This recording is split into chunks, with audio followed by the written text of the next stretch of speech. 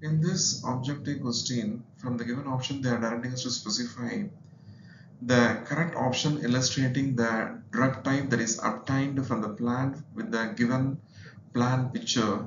For this, we are specifying the plant with hallucinogenic quality depicted in the diagram is called datura. A hallucinogen is a drug that causes mental effect, typically connected to schizophrenia, dreams, or hallucination from religion. It causes modification to thoughts, feeling, and perception.